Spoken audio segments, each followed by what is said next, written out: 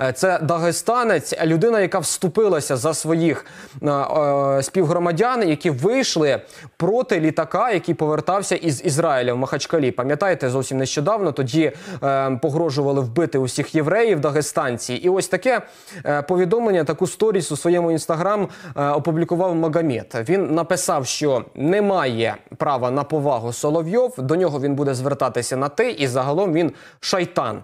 Давайте почуємо, як відреагував на це все сам Соловйов. Це просто смішно. Ни одного слова в поддержку СВО я не увидел. Вот просто ни одного. Но зато он никак не может успокоиться. У себя в сторис он э, там продолжает, естественно, говорить обо мне гадости, но некоторые из них заслуживают серьезного внимания. Ну, в нем нет мужества признать, что он солгал о моем сыне, и что он цитировал украинский цепсошный. Ну, с мужеством там, видимо, тяжело. А главное, человек настолько глуп и необразован, э, что вот что он пишет. «Я всегда буду обращаться с такими, как ты, именно на «ты». Ты не заслуживаешь другого». Это 23-летний сопляк, ни хрена в своей жизни не сделавший.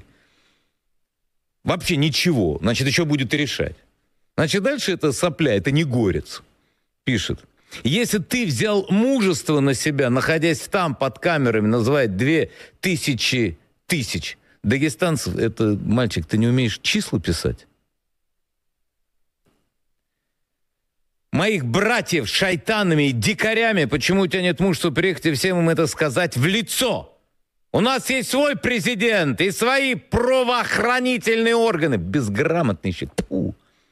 Да, они ошиблись, но это не делает их врагами народа, не выводит их из религии. Они мои братья, как и весь Дагестан. Мы сами разберемся у себя дома, без своих выкриков и оскорблений моего народа. Серьезно. Ну, давай я тебе преподам урок, так как, видимо, в школе ты не учился. Итак, ты шайтан, а не горец. Ты, во-первых, ничего не знаешь про ислам. И не смей оскорблять Коран. И не смей вообще что-то на эту тему говорить. Ты не знаешь. А я хочу нагадати, що зараз е, старий 60-річний пропагандист е, свариться з 23-річним бійцем ММА, у якого зараз е, рахунок 9-0 у його користь. Звісно ж, 9 перемог і 0 поразк поразок. Тому, як то кажуть, перепрошувати і вибачатися Соловйов почне через 3, 2, 1. Сподіваюся, що наступного разу, коли з вами побачимося, друзі, у Соловйова вже буде фінгал, в тому числі за такі слова, які він зараз також для вас розкаже. Давайте почуємо його, поки маємо час. Теперь по государственному устройству. Твой президент Владимир Владимирович Путин. Руководитель Дагестана называется глава Республики Дагестан. Страна называется Россия, а не Дагестан.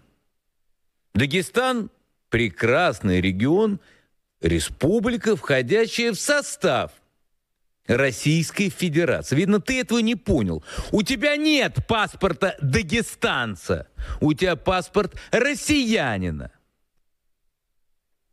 Ну, ось так от виглядає окупація по-російськи. Через губу копіює дагестанський акцент е, росіянин Соловйов і продовжує говорити про те, що усі етноси, усі народи, окрім росіян, в Росії не мають права буквально ні на що. Саме тому ми, українці, не маємо права дати цим рашистам, росіянам втрутитися на територію нашої держави і продовжувати ставити і диктувати свої закони та правила. І саме тому ми мусимо залишатися русофобами.